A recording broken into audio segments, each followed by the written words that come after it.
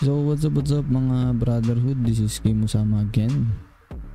So eto uh, Basic tutorial or quick tutorial Para sa mga Nakaka-encounter ng mga lag Sa browser nila. Ito para sa mga PC lang to mga brother ah. PC, desktop, laptop Na Gumagamit ng Chrome ng ano Google Chrome alright? Baka na nakaka-encounter kayo ng mga ganito. So ito yung hinahanap yung guide. So, ito. Mabilisan ulit. Yan. Kitang-kita nyo sa akin mga brother, no? So, i-zoom out natin. I mean, zoom in. So, yan. So, parang lag, no? Medyo lag. Medyo spiky. So, pinull screen ko siya. So, skip natin ulit para bumalik sa small ano lang. So, parang medyo spiky siya ng mga brother kung makikita nyo. So, slow motion yung pagkuha niya. So, ganito lang mag-guys niya mga brother. Napaka basic lang. Pupunta tayo dito sa settings ng Google Chrome nyo. Eto, click nyo lang to. Click nyo lang yung tatlong bilog. Then, settings. Then, punta lang yung advanced system. Then, i-check nyo tong use hardware acceleration when available. Alright? So, pagka click nyo lang to yun, nyo lang yan, then relaunch. There you go.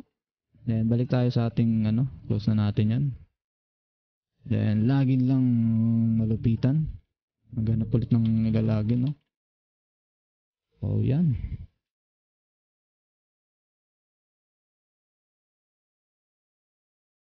Ganyan lang siya mga brother. Sa mga naglalagyan na gumagamit ng Google Chrome and PC user.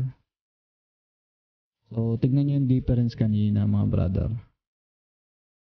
Tsaka yun sa mga ano, uh, nakaka-encounter ng parang mapapansin ko na itong mga nakarang araw. Kahit ako, kayo magpanik mga brother. Yung, di ba may lumalabas minsan na parang mga error or ganyan, contact support kapag nagaganon siya, wag nyo nang wag kayo masyadong magpanik kasi ibig sabihin no, nag-upgrade yung system ng laro natin, no.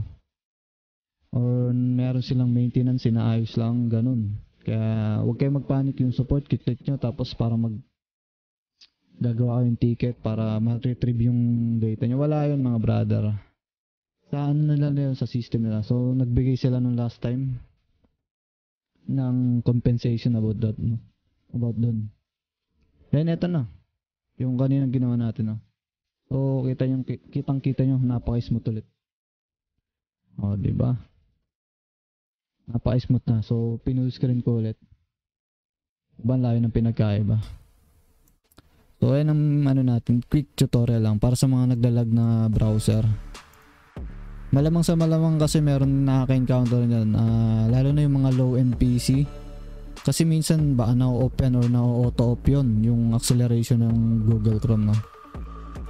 So, ayun yung purpose nun. Kapag naglalag kayo, ayun ang susi.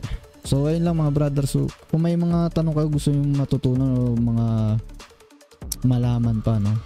Pwede, pwede kayo mag-comment sa ating etong video na to mga brother. So, quick tutorial lang to. Wala nang intro-intro eh. Mabilis lang to. So, yan. Kung meron kayo natutunan, like and subscribe ulit mga brother. Salamat ah. Kita ulit tayo sa susunod na Demet. AST video. Alright. This is Kim Masama. Bye-bye.